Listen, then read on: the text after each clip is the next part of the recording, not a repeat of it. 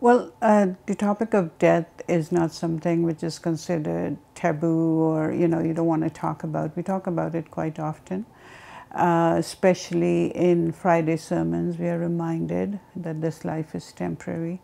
Uh, we are also reminded by our prophet that plan for your death, meaning write your will, uh, make amends, uh, and consider every day could be your last. And so that's a reminder that we have. I mean, I have this conversation with my grandkids, okay, so when I die, you know, kind of thing. So death is seen as inevitable, of course, uh, it's part of living. The interesting thing about uh, the way uh, Islam presents death is actually the beginning of life. So for us, this life is temporary. The true and eternal life starts after death.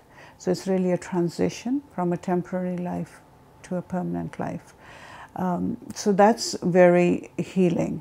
Uh, that's not something, you know, if you think of death as that's it, it, it can be hard to, to, uh, to handle and the grief can be overwhelming.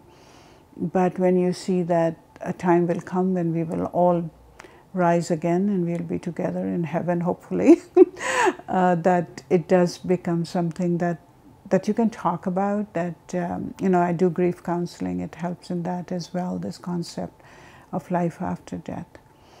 Um, however when when a loved one is ill uh, or is facing hospice or palliative um, it depends from individual to individual right? How so many a times we would have to uh, assess where the individual is spiritually um, how much they can the information they can take.